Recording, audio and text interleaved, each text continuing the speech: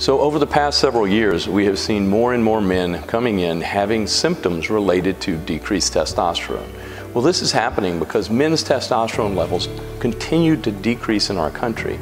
We know this because a study that was initiated in 1984 and concluded in 2004 showed us that men's testosterone levels had decreased in two decades by almost 200 points, and this trend is continuing men are starting to have more and more symptoms of low testosterone. And unfortunately, our medical providers don't understand this because as men's testosterone is decreasing, we continue to decrease the reference range and therefore normal keeps changing. But it does cause symptoms as testosterone decreases. So we know that men's testosterone peaks in their 20s and year by year decreases from the 20s throughout life, as much as 1 to 3% a year.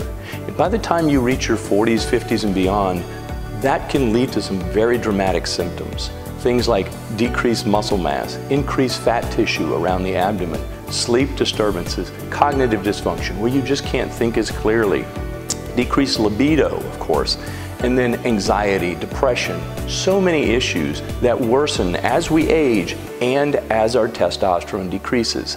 Many say, yes, this is just a natural process. Of course it is, but it is so easy to reverse it, to bring the testosterone back to an optimal level, and it is safe.